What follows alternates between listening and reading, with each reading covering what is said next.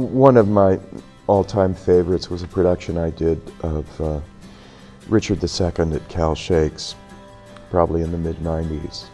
You know, got my makeup off and I, I came out into the house and my father walked around the corner and he was beaming with pride. It was probably the hardest thing that any of us have ever had to memorize. I talk to my kitten like this. I say, who's daddy's girl? Are you my little kitten? Every little moment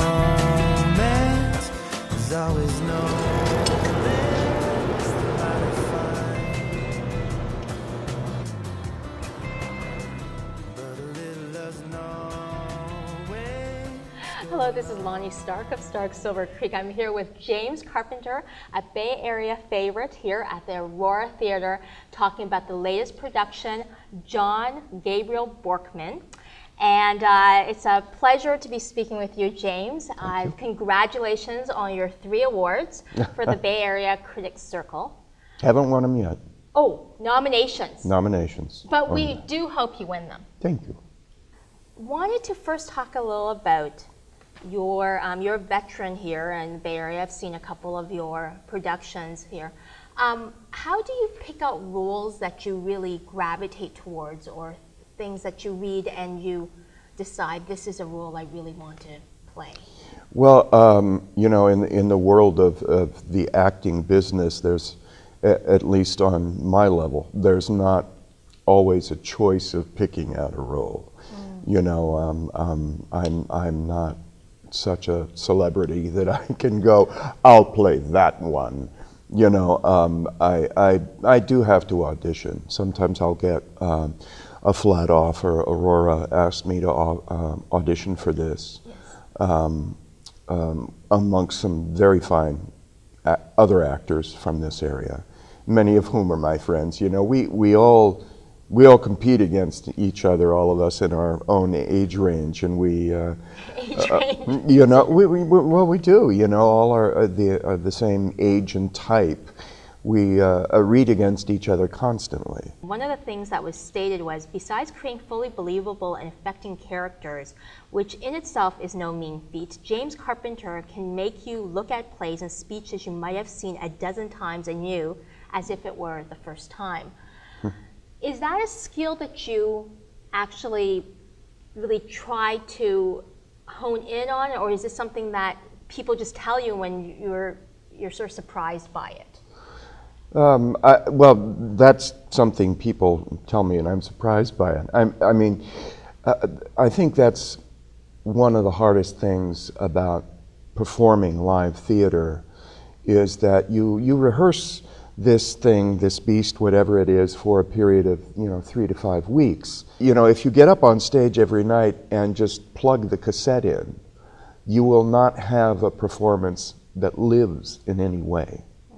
And one of the hardest things for me, at least, on, to do every night on stage is to speak the lines for the first time, to experience those feelings for the first time, so that it is, it is new.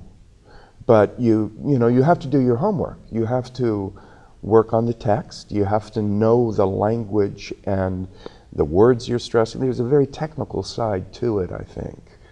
Um, but it's it's kind of the, you know that old adage of uh, uh, you must first learn the rules in order to break them properly. Uh, you know, uh, uh, you, you you have to do your homework. My father was um, um, full colonel in the military. So this was very, not the profession he was looking for you to go. no, this was not. He, we had many long talks about it. My dad would sometimes sit me down and say, "You know, Jim, you're a really awful actor. You should, you should really go into something else," which really hurt. It, you know, it really hurt. And I said, "Dad, I'm sorry. I love doing this, and I would rather be poor and happy than rich and miserable." and for which he had no argument, you know. But uh, that that went on for several years until he saw me in a production of uh, Taming of the Shrew, I think that was that was really quite a good production, And uh, I love Taming of the Shrew. I- It's, it's one of a great play. I love it. You know, it's totally chauvinistic. It's it's wonderful in in the way Shakespeare has, but um, it was a very good production.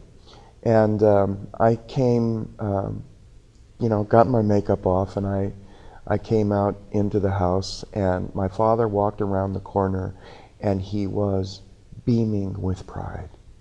And I, I don't think I'd ever seen that look on my father's face because he was so hard to please.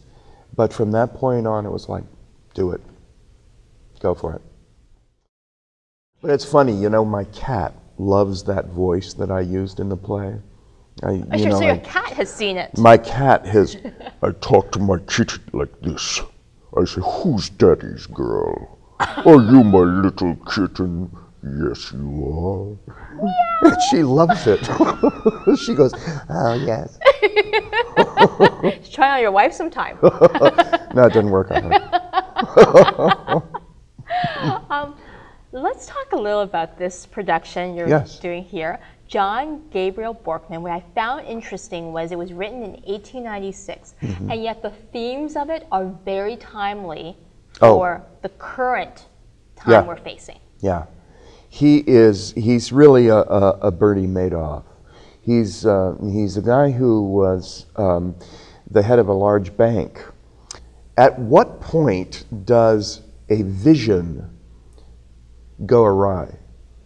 You know, at what point does a vision cross a line, become a crime? Uh, um, he basically he invested. He took money from the bank, which was this far away. This whole massive deal that this man had brokered. Uh, he, wa he he was looking at establishing his own kingdom, essentially. A grand, grand vision, and. Um, and The somebody desire turned to create wealth. the, the the desire to spread human happiness is what he says. Oh, okay. Yeah. Huh. To benefit mankind. That's his that's his dream, according to him. Yes. Now, you know, how much of that is true and how much is not is Part of it, it's shades of gray sometimes. Um, and uh, he's he's a, he is a visionary, but he crossed a line. He's more than a bit mad. He's he's gone over this trial.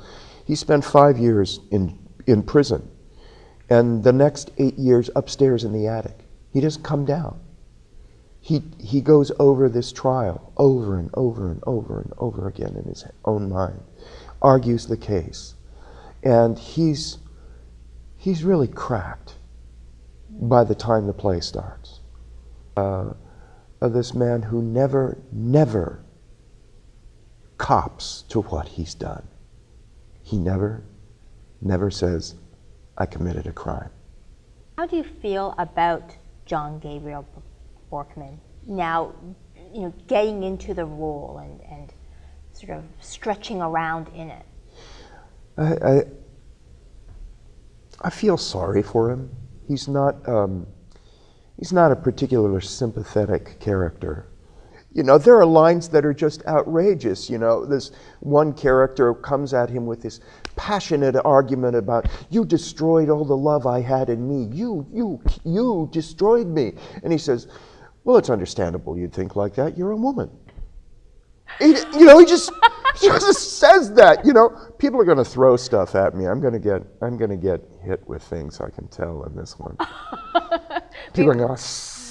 We're gonna have to pat everyone down to make sure there's no Yeah, hard they're gonna- objects, right? There are th- cell phones bouncing off my head. Yeah, Sounds like a fable in some way. it, it, it is fabulistic, if that's a word. Fabulistic. Well, thank you, James, for your time. Thank you. And looking forward, as always, to one of your performances. I am like a super fan of James Carpenter. I'll admit to that for full disclosure. Um, thank you again for spending the time. Thank you, thank you, and come see John Gabriel Borkman.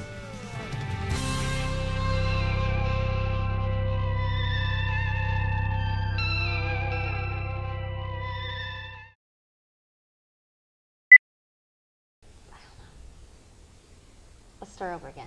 Don't worry, this takes six hours. I've, I've, I've done this stuff before, I know. James, no, John Gabriel Bartman.